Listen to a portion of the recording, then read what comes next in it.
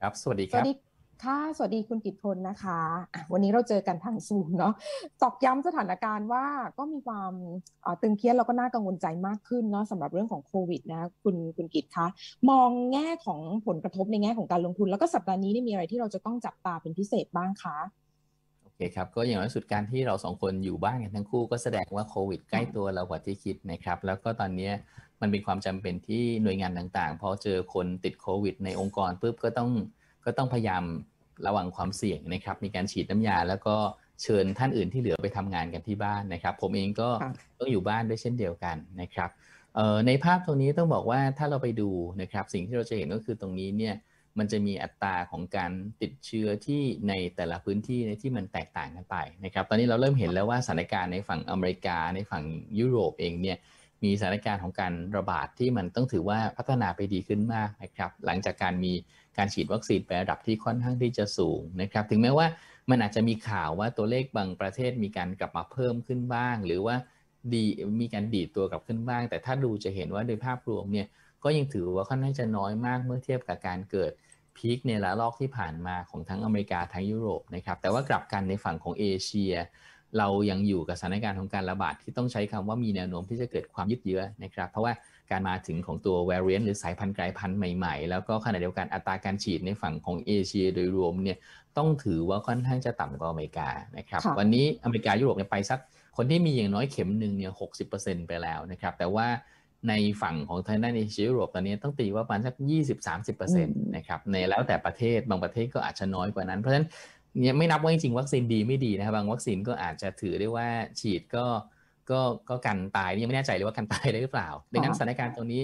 มันเลยทำให้เราจะเห็นว่าสิ่งที่จะเกิดขึ้นในช่วงครึ่งปีหลังก็คือการเขย่งของการเติบโตอืมนะครับ ถ้าลองลองสังเกตจะเห็นว่ามันเริ่มมีหน่วยงานมาปรับ คาดการณ์เศรษฐกิจในฝั่งอเมริกาฝั่งยุโรปขึ้นนะครับไม่ว่าจะเป็น IMF ก็ดีเป็นในส่วนของ Moody's ก็ดี ในฝั่งของเอเชีย และตลาดเกิดใหม่เนี่ยเริ่มมีสัญญาณของการปรับประมาณการลงดังนั้นค่ะครึ่งปีหลังนะครับ เราจะเกิดสถานการณ์ของการเขย่งของการเติบโตนะซึ่งเวลาเกิดการเขย่งอย่างนี้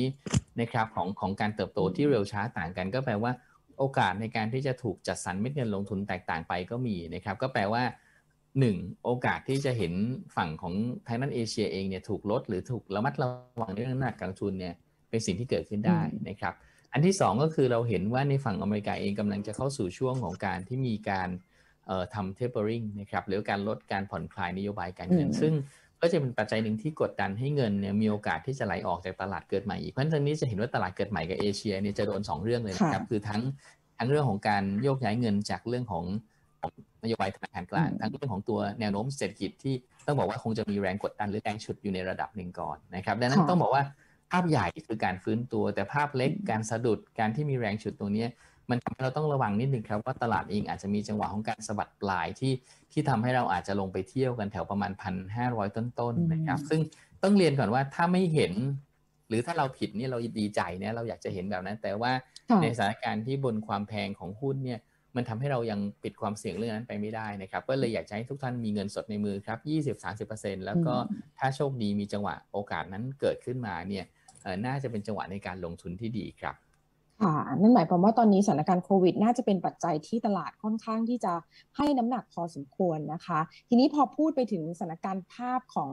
ตลาดโลกบ้าง แล้วก็ตอนนี้เนี่ยหลายคนจับตาเรื่องของสถานการณ์ราคาน้ำมันเนาะคุณกิตพลนะเพราะว่าก็จะมีการประชุม OPEC Plus ที่เลื่อนมาใช่ไหมคะมาประชุมกันในวันนี้ด้วยนะคะ ตรงนี้จะส่งผลต่อบรรยากาศในเรื่องของการลงทุนอย่างไร แล้วก็กลุ่มที่เกี่ยวข้องอย่างกลุ่มพลังงานกลุ่มน้ำมันเนี่ยจะเอฟเฟกต์ยังไงบ้างคะคุณกิตพลคะ ครับก็ต้องบอกว่าในในกลุ่มของคนที่มองน้ำมันแบบ bull สะบั้นหั่นแหลกเนี่ยก็มองว่าเอ๊ะ demand มันฟื้นเนี่ยมันควรจะราคาน้ำมันเพิ่มขึ้นนะครับ แต่ทีเนี้ย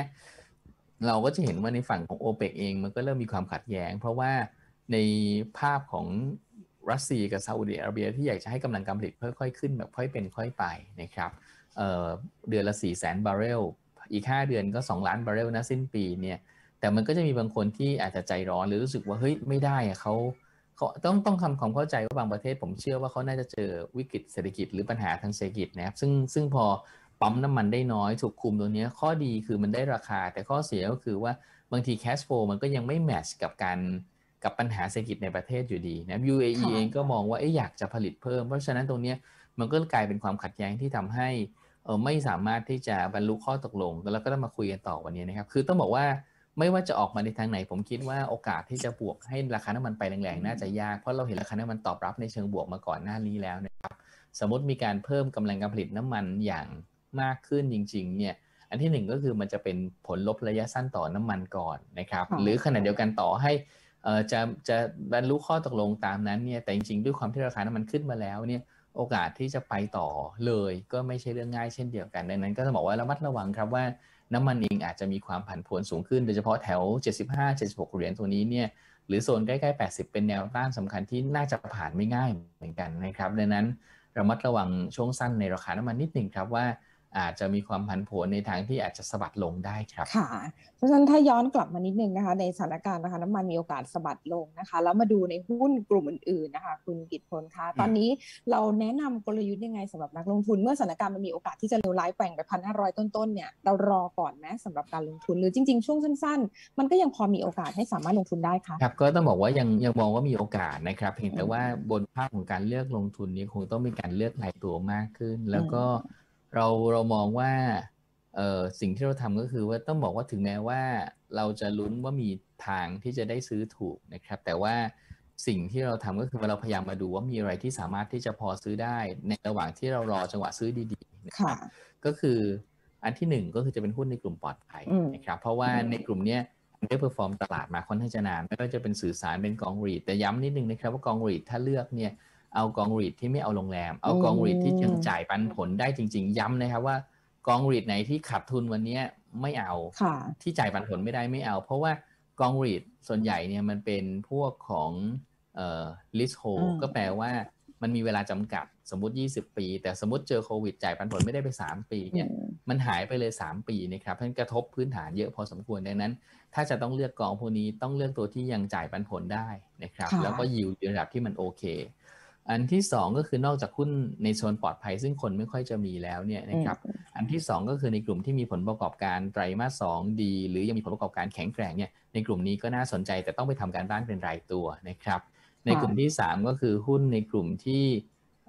ได้ประโยชน์จากสายงานปัจจุบันก็คือ1ดีมาต่างประเทศที่ยังก็น่าจะดีนะครับ อย่างเช่นพวกปิโตรเคมี หรือพวกอาหาร เพราะพวกนี้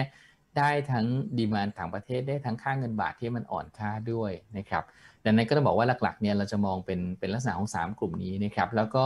เรามองว่าสถานการณ์ของการ reopening ซึ่งมันอาจจะดีเลย์ยืดเยื้อ หรือว่าเกิดการ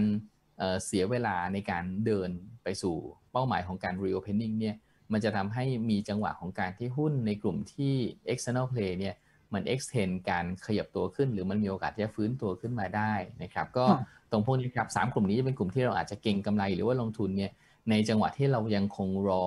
ที่จะอยากจะซื้อหุ้นเรียวเพนนิ่งนะ แต่เราคิดว่าด้วยหลายปัจจัยเนี่ยถ้ามันมีจังหวะของการปรับลงแรงๆเนี่ยมันจะเป็นจังหวะที่ดีในการซื้อหุ้นเรียวเพนนิ่งก็คือเราไม่อยากไล่ซื้อหุ้นเรียวเพนนิ่งนี้ครับอยากซื้อแต่ไม่ไล่ซื้อครับสุดท้ายคงจะต้องพูดประเด็นเกี่ยวข้องกับเรื่องของกลุ่มรับเหมานิดนึงนะเพราะว่าทางสบคเองจะมีรู้สึกจะมีการผ่อนคลายบางโครงการเกิดขึ้นนะคะ ตรงนี้มันจะส่งผลต่อบางกลุ่มบางตัวที่อาจจะได้อานิสงส์ไหมคะหรือว่าเรามองว่ามันมันเล็กน้อยมากอาจจะ ยังไม่ใช่จุดที่น่าสนใจค่ะ คุณกิตพลคะครับก็คงจะเป็นผลดีทางจิตวิทยานะครับ เพราะว่ามันก็มีหลายโครงการซึ่ง ซึ่งต้องบอกว่าถ้าไม่ทำต่อเลยในความเสี่ยงมันสูงมาก เพราะว่ามันอยู่ในจุดที่หยุดงานได้แล้วมันไม่ปลอดภัยนะพวกงานขุดดินลึกอะไรพวกนี้ซึ่งถ้าถ้าทำแล้วยังห้องใต้ดินยังไม่แข็งแรงดีเนี่ยอยู่ดีๆ มันอาจจะเกิดการยุบตัวหรือเกิดการทะลักของดินเข้ามาในไซต์งานได้ ซึ่งกลายเป็นว่าตึกข้างๆอาจจะซุดนะครับเพราะฉะนั้นตรงนี้ ก็ถือเป็นเรื่องที่ดี แต่ทีเนี้ยมันมันลักษณะของการขออนุญาตตัวนี้น่าจะต้องเป็นรายโครงการ น่าจะมีการประกาศ แล้วก็เป็นการไปขอคงไม่ใช่ทั้งหมดแต่เป็นรายโครงการดังนั้น ลักษณะแบบนี้ถ้ามันจะมีข้อดีผมคิดว่ามันอาจจะกลายเป็นกับงานพวกกลุ่มพวกรับเหมาก่อสร้างที่ทำพวกงานโครงสร้างใต้ดินครับเขาเกี่ยวงานปลอดภัยเยอะนะดังนั้นก็แปลว่าไพลอนซิโก้ถ้าเรามองคร่าวๆเนี่ยน่าจะได้ผลดีจากเซเลนตัวนี้มากกว่าในกลุ่มรับเหมา ตัวอื่น ซึ่งต้องบอกว่าอาจจะอยู่บนงานโครงสร้างหรืองานที่อยู่เหนือดินมากกว่าค่ะโอเคค่ะวันนี้ขอบคุณมากเลยค่ะคุณกิตพลนะตลาดดูเหมือนพยายามประคับประคองตัวนะนี่หนึ่งพันห้าร้อยแปดสิบบวกอยู่หน่อยๆนะคะหนึ่งจุดแปดสามจุดนะคิดว่าน่าจะยืนได้ไหมถ้าดูทรงหรือต้องระวังเหวี่ยงช่วงบ่ายคะครับก็ถ้าเราดูจะเห็นว่าสองส่วนที่ผ่านมาการมันเป็นการขายสุทธิในตลาดเอเชียเป็นส่วนใหญ่นะครับเพราะฉะนั้นแปลว่าลักษณะแบบนี้ ตลาดที่ลงมาในโซนที่ยังต้องบอกว่าตราบใดที่ยังต่ำพันหกร้อยหกจุดเนี่ยครับตรงนี้ก็คือยังยังแปลว่าเรายังไม่ได้กลับไปบวกค่ะนะครับเพียงแต่ว่าพอยืนพันห้าร้อยแปดสิบเนี่ยโซนพันห้าร้อยแปดสิบถึงพันหกร้อยสิบตีก็ได้สามสิบจุดตัวเนี้ยตลาดอืมทั้งไม่บวกและไม่ลบนะครับถ้ากลับมายืนเหนือพันหกร้อยสิบได้โอเค ตลาด กลับมาอยู่ในโซนที่เราคาดหวังได้มากขึ้นค่ะกับการหลุดพันห้าร้อยแปดสิบโอกาสที่จะเปิดดาวไซด์ระดับหนึ่งมันจะเริ่มมาทันทีดังนั้นสำหรับคนที่เก่งกับระยะสั้นใช้พันห้าร้อยแปดสิบเป็นจุดตัดสินใจ ถ้า